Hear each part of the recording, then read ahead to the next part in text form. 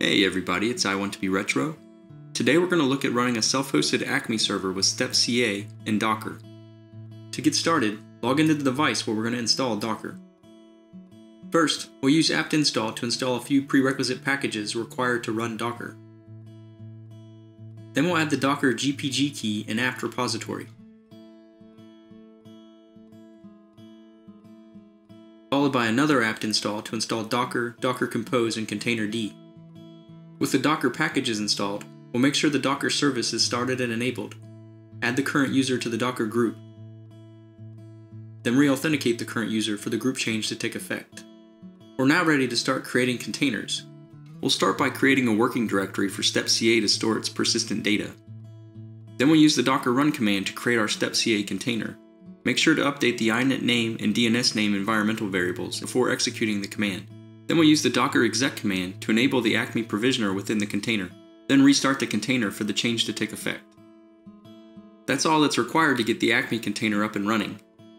To demonstrate, I'll log into a different server and step through the process to request a certificate from our container.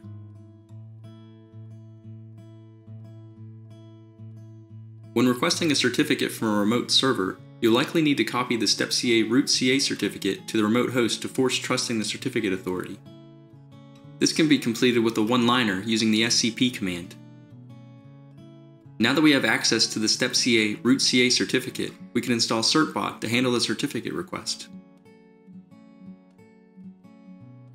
We'll start by running apt remove certbot to remove any previously installed versions. Then using apt install, we'll install snap. With snap now installed, we'll install snap core and update. Then we'll install the certbot snap. Next, we'll create a symbolic link to the certbot binary in the system path.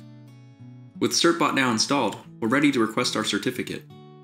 In the certbot command, set the server option to the DNS or IP address of the Docker host and the port that stepca is listening on. Then set the DNS name for the certificate request to be applied to. When prompted, input an email address and choose if you'd like to receive emails from Let's Encrypt. If everything's configured properly, the certificate request should succeed and your certificate should be created by the Step CA server.